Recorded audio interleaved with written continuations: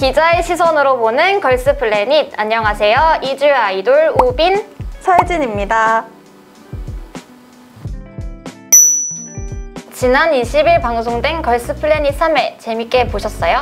좀 회를 거듭할수록 친구들이 실력이 나날이 향상되는 것 같아서 재밌게 잘 보고 있습니다. 그렇다면 기억에 남는 연습생과 무대를 다시 한번 살펴보겠습니다.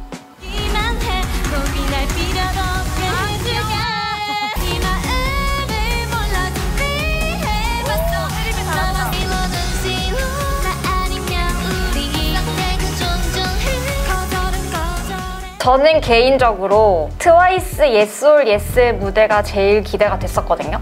이 걸그룹으로서 가장 보여줄 수 있는 매력을 극대화시킬 수 있는 노래와 안무라고 생각해서 연습생들이 어떻게 했을지 기대가 됐었는데 예진님은 어떻게 보셨어요? 자꾸 보고 싶냉 팀이 승리를 했잖아요. 네. 이 팀이 굉장히 전체적으로 좀 호흡이 좋았다. 음, 좋았다. 잘했다. 승리할 만하다. 이렇게 봤습니다. 저는 좀 반대로 자꾸 보고 싶는 팀에서 아쉬웠던 건 그 센터를 맡았던 허지원 친구 네. 그 친구가 체리블렛으로 데뷔를 했는데 한번 데뷔했던 아이돌 치고는 조금 더 잘해야 했다. killing part를 좀 데뷔한 친구 치고는 못 살렸다는 점에서 좀 아쉽다고 판단했습니다. 아, 왜냐면 데뷔를 했으면 카메라를 잡아먹는 능력이 있어야 하는데 되게 그 실력이 미약했다고 봅니다. 체리블렛 내에서는 되게 돋보였었는데 여기서 돋보이지 못했다는 건 다른 연습생들의 실력이 더 우월하다고 보기엔 좀 미안하나요? 아니 근데 김혜림 양이 또 너무 잘하긴 했어요. 실력이 맞아, 잘했어. 응, 노래도 잘하고 top9에 들어갈 거라는 기대가 아주 큰 멤버 중에 하나가 혜림 양. 네. 네. 그건 저도 동의합니다. 아 그리고 저 개인적으로 pick이 하나 있어요. 네. 김채현 친구. 너무 잘하더라고요. 네. 트와이스 멤버라고 하면 좀 트와이스 팬들에게 미안하지만 Yes or Yes를 가장 잘 살린 연습생이라고 생각합니다.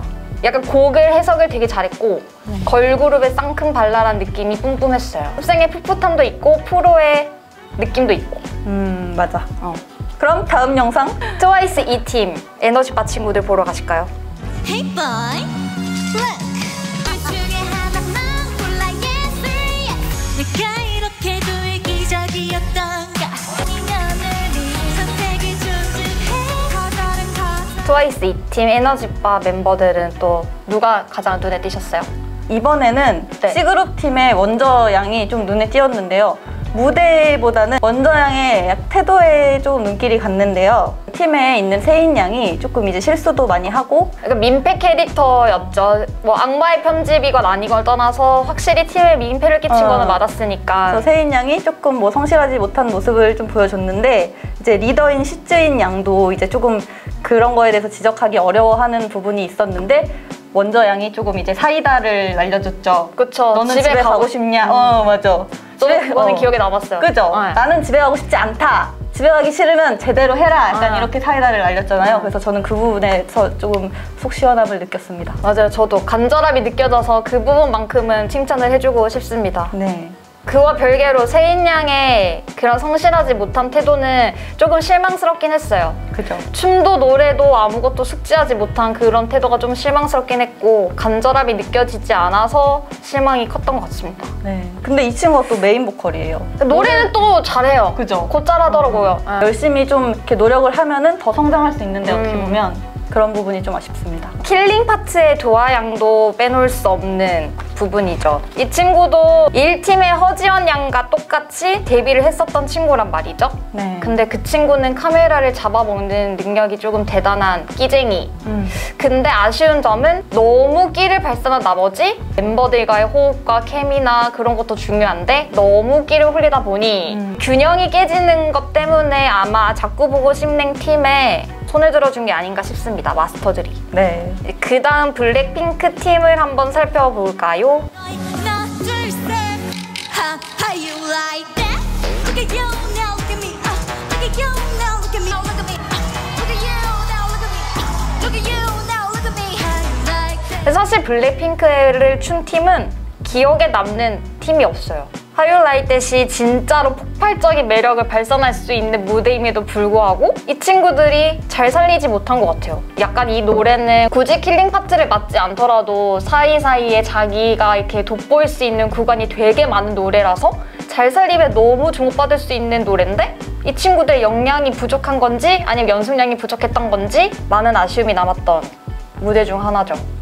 그 중에서도 저는 그나마 꼽자면 차이빙 친구, C그룹의 차이빙 친구가 괜찮았던 것 같아요. 그 약간 얼굴 생김새가 약간 이 노래 이미지와 비슷해서 그런 걸 수도 있고 일단 사실 아이돌의 기본 요소 중 하나가 비주얼 아니겠습니까? 그쵸. 이 노래와 비주얼이 가장 찰떡인 친구라서 실수를 했지만 그래도 가장 눈에 띄었었던 친구. 차이빙 양이 이전에 약간 혼자 뭔가 좀 튄다고 약간 그런 평을 음. 듣기도 했었잖아요. 블랙핑크의 이런 곡에 또 이 사람이 또 잘 어울리는 곡을 만나서 또 좀 돋보이지 않았을까 그런 생각도 드네요. 이 자기가 선택한다고 다 잘 되는 게 아니라 노래의 운도 중요하고 멤버들의 팀워크도 중요한 거기 때문에 그게 바로 오디션의 묘미죠. 묘미죠. 네. 또 시청자들의 또 관전 포인트기도 하죠. 아 여기 CLC의 최유진 친구도 했네요. 여기 이 무대를. 많이 눈에 띄진 않았어요, 그렇죠? 근데 그게 아마 관록 있는 아이돌의 짬밥 아닌가 싶은 게 음. 되게 잘 녹아 들었던 것 같아요. 그 트와이스 팀이랑은 좀 약간 반대여서 또 그 나머지 매력이 있었어요.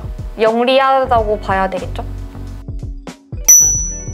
지금까지 네 팀의 무대를 봤는데 저는 네 팀의 무대를 보니까 남은 팀들도 진짜 기대가 되더라고요. 특히 저는 네. 개인적으로 엑소의 전야를 너무 좋아해서 네. 이 팀이 제일 기대가 돼요. 이거랑 BTS 팀 그리고 엑소 전야는 웨이브를 굉장히 잘 살려야 합니다. 저는 개인 카이의 직캠을 보고 전야에 빠졌기 때문에 그럼 잘- 다음에 웨이브만 중점으로 보실 거예요? 네, 그럼요. 저의 포인트는 그걸 얼마나 잘 살리느냐, 표정을 얼마나 느끼하지 않게 잘 하느냐. 그래서 개인적으로 좋아하는 노래이기 때문에 팬심을 더할 수밖에 없네요.